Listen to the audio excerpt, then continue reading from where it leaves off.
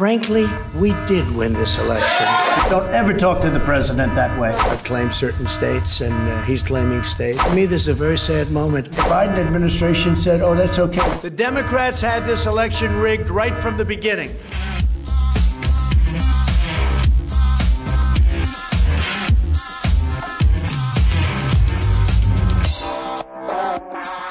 If you count the legal votes, I easily win.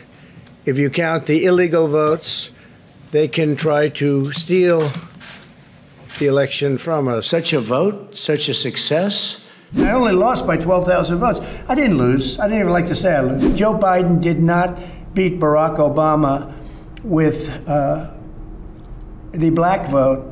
Didn't beat him, okay? But they have him as beating him. President, do you have any big plans for your last Thanksgiving at the White House? I can't say uh, what's uh, first and what's last in terms of is this uh, the last one or is this the first one of a second term? We'll see what happens.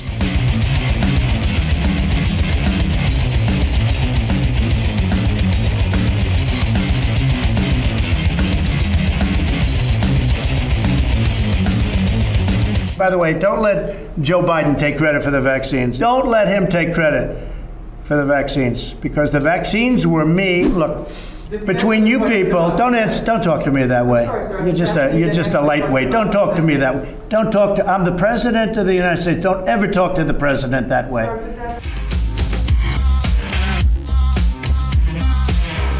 I challenge Joe and every Democrat to clarify that they only want legal votes because they talk about votes, and I think they should use the word legal, legal votes. As you know, I've claimed certain states, and uh, he's claiming states, and we can both claim the states, but ultimately I have a feeling judges are going to have to rule. But there's been a lot of shenanigans, and we can't uh, stand for that in our country. Do you have the timeline on when you're going to present this evidence of voter fraud you talked about? Well, it's happening now. I mean, we're, we're, we're in courts, we're in courts, but we're also in front of legislatures.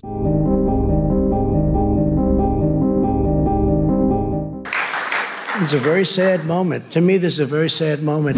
If I lose to him, I don't know what I'm going to do. I will never speak to you again. You'll never see me again. Mr. President, if the Electoral College votes for Joe Biden on December 14th, will you concede the election? And I, I, it's going to be a very hard thing to concede. We found thousands of wrong votes. And by the way, always against me. It was not like 50 50, it was always against me.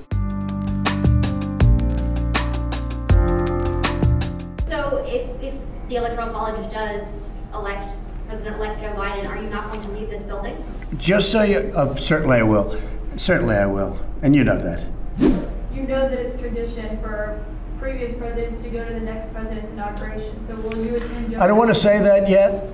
I mean, I know the answer. I, I'll be honest, I know the answer, but I just don't want to say it yet. Ultimately, I am prepared to accept any accurate election result.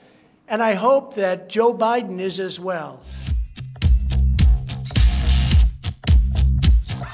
There is still plenty of time to certify the correct winner of the election.